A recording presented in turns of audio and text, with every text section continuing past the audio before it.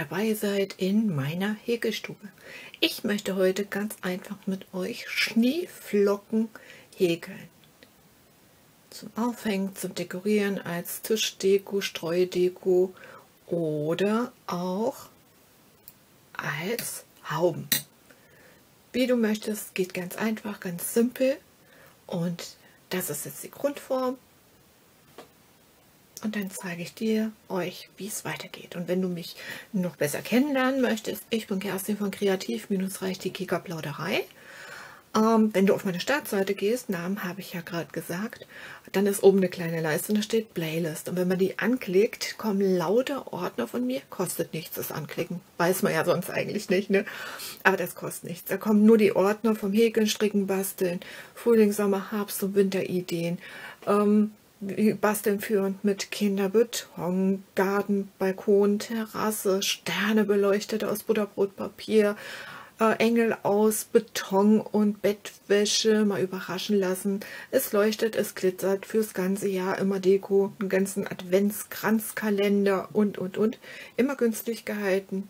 Gerne ein Upcycling, auch mein Geldbeutel ist klein und ich mache gern vieles für Kinder, weil ich selber fünf Stück habe und dann vielleicht einfach mal gucken und inspirieren lassen. So, jetzt legen wir los. Einfach eine Restwolle genommen für eine 5er bis 6er Häkelnadel oder halt eine passende in Baumwolle, dann werden die Schneeflocken kleiner oder größer. Das musst du immer nur variieren, aber du musst auf die Banderole gucken von deiner Wolle, da steht dann drauf, wie groß die Häkelnadel sein muss und danach kombiniert man das Wolle und Häkelnadel und dann kann man es ähm, variieren. Häkeln geht genauso, nur äh, je dünner die Wolle, desto kleiner werden sie, je dicker die Wolle, desto größer.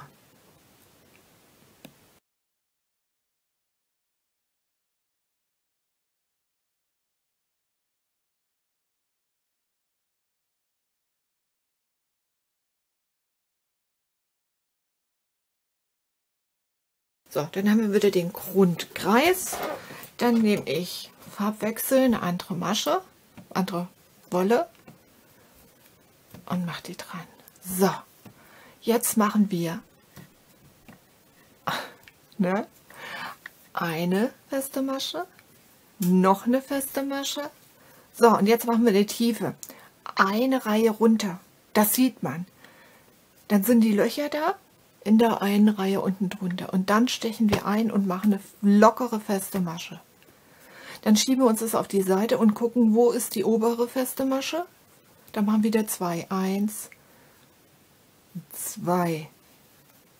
Und dann gucken wir nach unten, wo ist mein Loch. Dann gehe ich weiter runter und mache eine feste.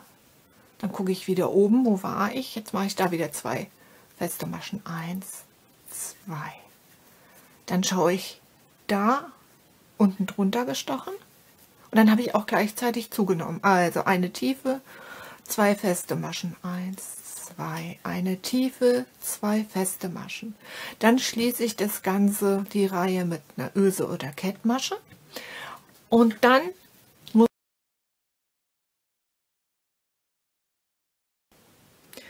So, ich habe jetzt zugenommen nochmal drei einzelne und zwei, drei einzelne und zwei. Glitzert schön. Und jetzt kann man Aufhänger dran häkeln. Einfach 4, 5, 6 Luftmaschen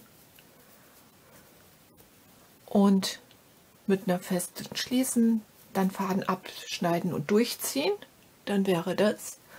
Oder du machst den kleinen Rand noch hier.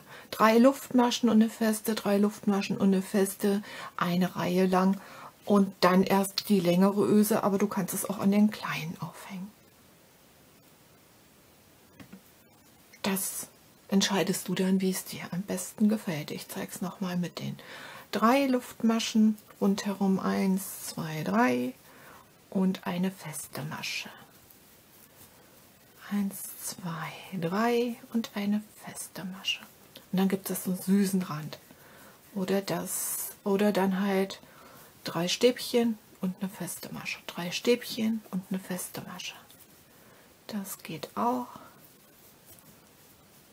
Ne, wie du das möchtest, so machst du das. Die drei Stäbchen sind dann hier und eine feste Masche.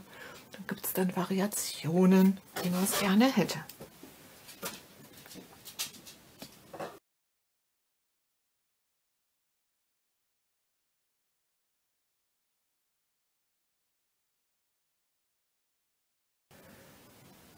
Und dann sage ich Tschüss, toll, dass du, dass ihr da wart, mit mir kreativ wart. Noch viel, viel mehr findest du, wie gesagt, in meinem Kanal Kreativ-Reich die Kika-Plauderei auf der Startseite in den Playlist. Und jetzt sage ich erstmal Tschüss, schön gesund bleiben oder gesund werden. Eure, deine Kerstin.